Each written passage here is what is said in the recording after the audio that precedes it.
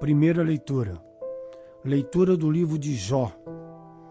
Jó tomou a palavra e disse: Gostaria que minhas palavras fossem escritas e gravadas numa inscrição com ponteiro de ferro e com chumbo, gravadas na rocha para sempre.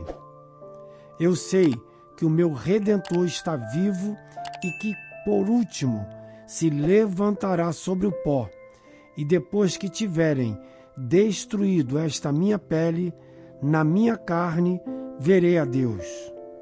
Eu mesmo o verei, meus olhos o contemplarão e não os olhos de outros. Palavra do Senhor, graças a Deus.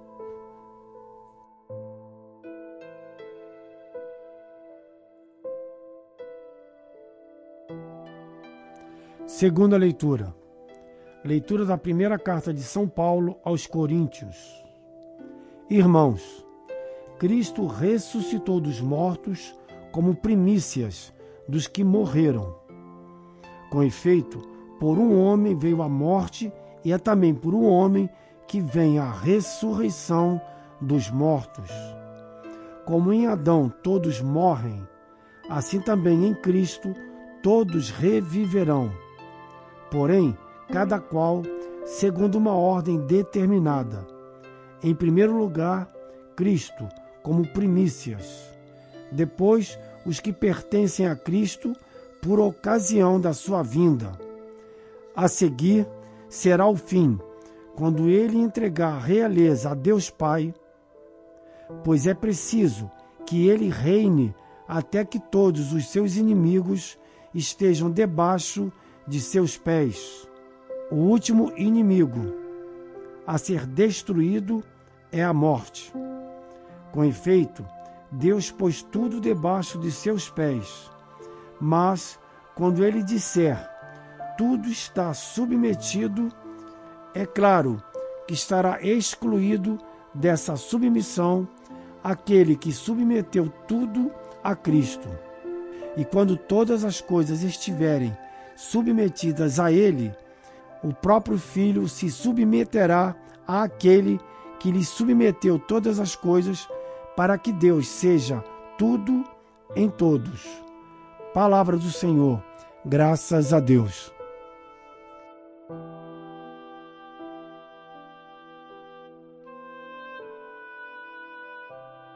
Proclamação do Evangelho de Jesus Cristo segundo Lucas. Glória a vós, Senhor. Naquele tempo disse Jesus a seus discípulos: Que vossos rins estejam cingidos e as lâmpadas acesas. Sede como homens que estão esperando seu senhor voltar de uma festa de casamento para lhe abrir imediatamente a porta logo que ele chegar e bater. Felizes os empregados que o senhor encontrar acordados quando ele chegar. Em verdade eu vos digo: ele mesmo vai cingir-se, fazê-los sentar-se à mesa e, passando, os servirá.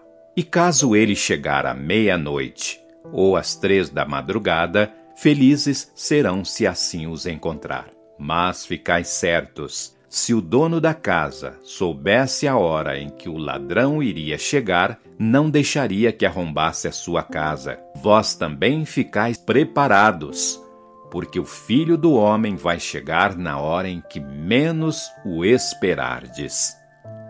Palavra da salvação. Glória a vós, Senhor.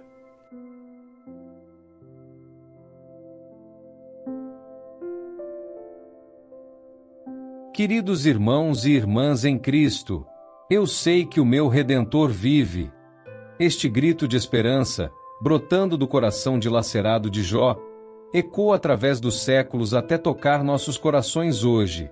Imaginem a cena: um homem que perdeu tudo, seus bens, seus filhos, sua saúde, sentado em meio às cinzas de sua vida anterior, coberto de chagas, e ainda assim, capaz de proclamar esta verdade inabalável. A história de Jó nos confronta com a realidade do sofrimento humano em sua forma mais crua. Não é um sofrimento teórico, distante, mas uma dor visceral que muitos de nós conhecemos bem demais. Quem de nós não já se sentiu, em algum momento, como Jó?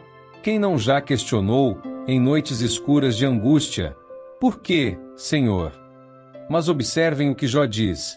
Gostaria que minhas palavras fossem escritas e gravadas em bronze com punção de ferro, e que com buril fossem esculpidas em rocha para sempre. Por que este desejo tão intenso de registrar suas palavras? Porque ele está prestes a fazer uma das declarações mais profundas de fé em toda a Escritura. Eu sei que o meu Redentor vive e que no último dia se levantará sobre o pó da terra. E quando tiverem destruído esta minha pele, na minha carne verei a Deus. Que extraordinária profissão de fé! No meio de sua dor mais profunda, Jó agarra-se não a explicações ou justificativas, mas a uma pessoa, seu redentor vivo.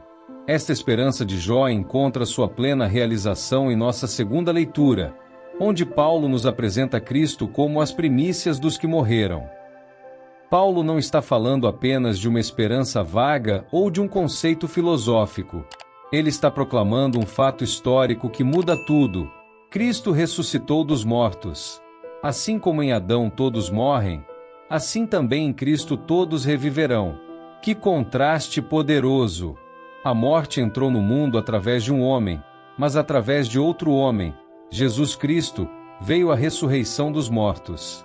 A história humana não termina na sepultura. A última palavra não pertence à morte, mas à vida. Paulo então nos apresenta uma visão cósmica do plano de Deus. Cristo deve reinar até que todos os seus inimigos sejam postos debaixo de seus pés, e o último inimigo a ser destruído será a morte. Imaginem isso!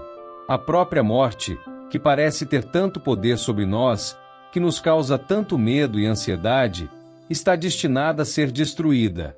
E é aqui que nosso evangelho de hoje se encaixa perfeitamente.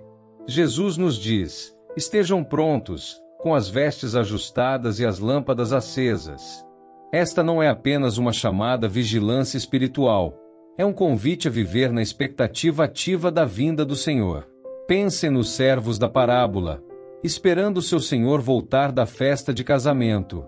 Eles não sabem exatamente quando ele virá, mas mantêm suas lâmpadas acesas, suas vestes ajustadas, prontos para abrir a porta ao primeiro toque.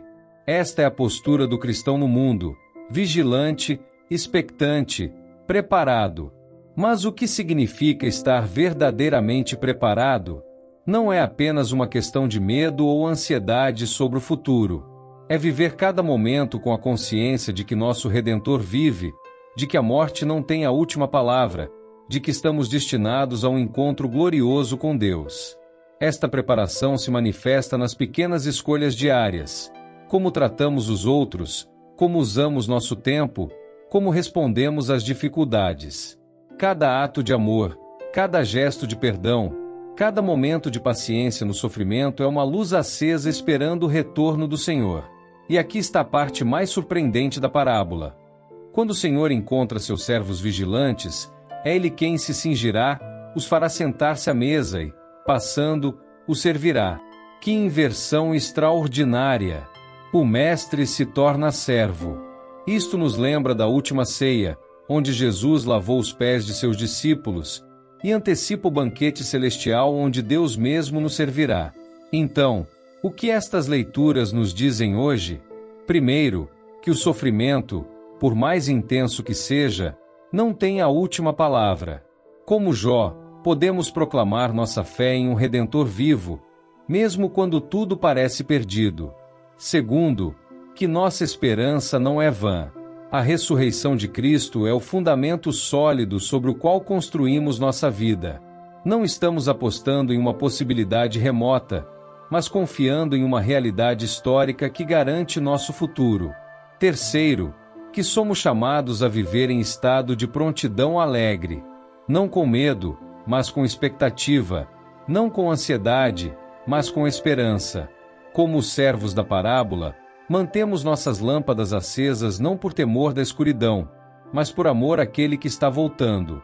Meus queridos irmãos e irmãs, talvez alguns de vocês estejam passando por seu próprio momento Jó, enfrentando perdas, doenças, decepções. Lembrem-se, Seu Redentor vive. A mesma fé que sustentou Jó em suas provações, o mesmo poder que ressuscitou Cristo dos mortos, a mesma esperança que mantém os servos vigilantes. Tudo isso está disponível para vocês hoje. Outros podem estar vivendo momentos de alegria e prosperidade. Não se esqueçam de manter suas lâmpadas acesas, suas vestes ajustadas. A verdadeira alegria cristã não está em acumular bens ou experiências, mas em viver na expectativa do encontro com nosso Senhor. Para todos nós, o chamado é o mesmo: viver cada dia com a certeza de que nosso Redentor vive, com a esperança da ressurreição e com a vigilância amorosa de quem espera o retorno do amado. Que o Espírito Santo nos ajude a manter nossas lâmpadas acesas, nossos corações vigilantes e nossa esperança viva. Que nos encontre, quando vier, não dormindo ou distraídos, mas prontos para o banquete eterno onde Ele mesmo nos servirá. E que a paz de Deus, que excede todo entendimento, guarde seus corações e suas mentes em Cristo Jesus, nosso Redentor vivo. Amém.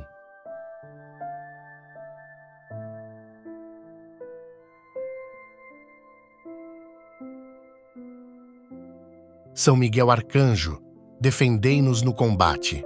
Sede o nosso refúgio contra as maldades e ciladas do demônio. Ordene-lhe Deus, instantemente o pedimos, e vós, príncipe da milícia celeste, pela virtude divina, precipitai no inferno a Satanás e aos outros espíritos malignos que andam pelo mundo para perder as almas. Amém.